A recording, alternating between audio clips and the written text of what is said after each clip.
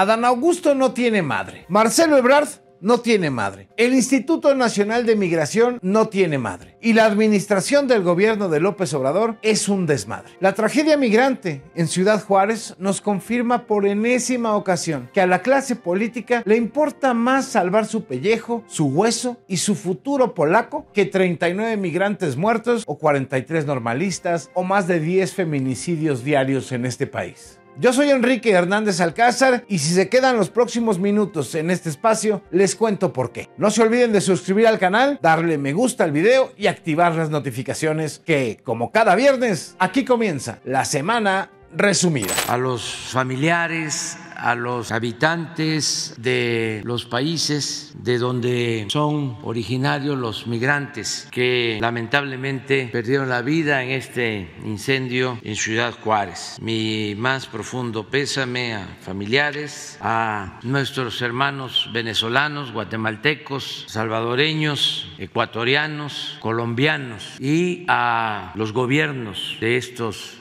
países. Informarles que están haciendo todas las investigaciones para conocer lo que realmente sucedió. Hay versiones, tenemos ya una información preliminar, pero queremos tener todos los elementos para informar si es posible hoy mismo. A cada desacierto de la 4T viene la justificación autoexpiatoria o la culpa al neoliberalismo corrupto del pasado que robó más. La chaqueta mental o aventar la papa caliente a la competencia interna. Aunque formalmente es la Secretaría de Gobernación para efectos administrativos, hay un acuerdo al interior del gobierno y es eh, Marcelo, el secretario de Relaciones Exteriores, quien se encarga del tema migratorio. Y sí, por decreto publicado en el Diario Oficial de la Federación el 19 de septiembre de 2019, el presidente López Obrador creó la Comisión Intersecretarial de Atención Integral en materia migratoria que preside la Secretaría de Relaciones Exteriores que encabeza Marcelo Ebrard. Sí, el canciller que ha fungido como vicepresidente, secretario de Seguridad y apagafuegos, salvo el migratorio, del gobierno de la 4T.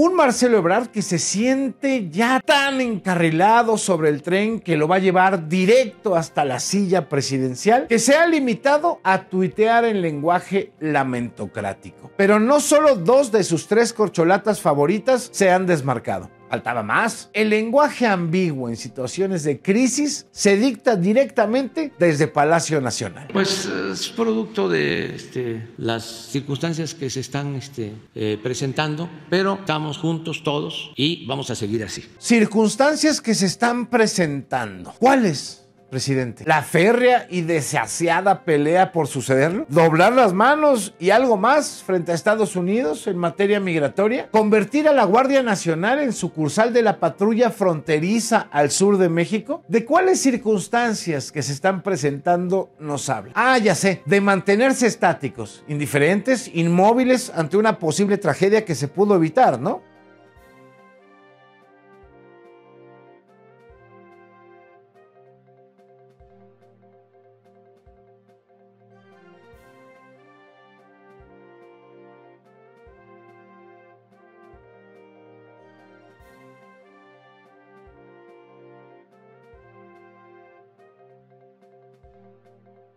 Por lo menos en esta terrible historia, la Fiscalía de Hertz reconoció que nadie, pero nadie hizo nada para evitar la tragedia. Por lo menos así lo dijo Sara Irene Herrerías, fiscal para la atención de derechos humanos de la FGR.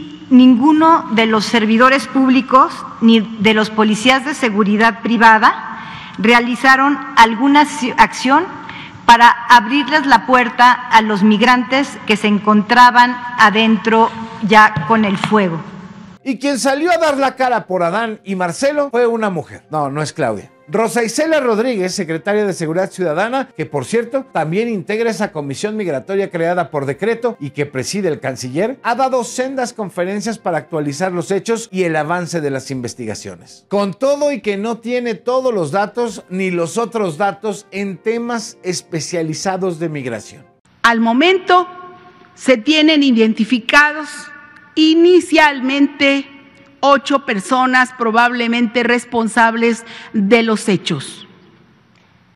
Dos agentes federales, un agente estatal de migración, así como cinco elementos de la empresa de seguridad privada quienes ya están rindiendo sus declaraciones ministeriales correspondientes. O sea que los culpables de la muerte de al menos 39 migrantes serán mandos menores, carceleros, celadores, policías contratados de manera privada. ¿Y quién dio la orden? ¿Quién dio las órdenes? ¿Quién dijo no abran las rejas? ¿Quién dijo ellos prendieron las colchonetas? Que ellos las apaguen. ¿Quién?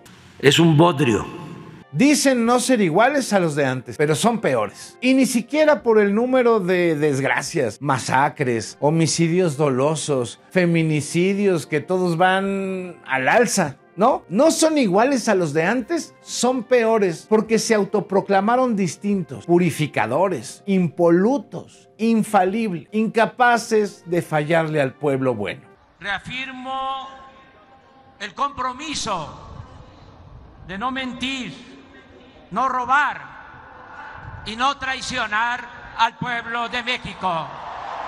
Pero no lo han hecho, al menos no en la medida de lo prometido. Se colgaron la medalla antes de siquiera iniciar la carrera. Camaradas, la nación está en bancarrota.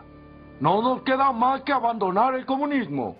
Y antes de que empiecen las campañas electorales en Coahuila y en el Estado de México y que nos ofrezcan las perlas de la Virgen y luego no nos cumplan nada, la buena, el plan B electoral de AMLO fue derrotado. La mala, AMLO presentó el plan C y va contra todo lo que esté en su contra. La fea, la renuncia de Edmundo Jacobo al INE.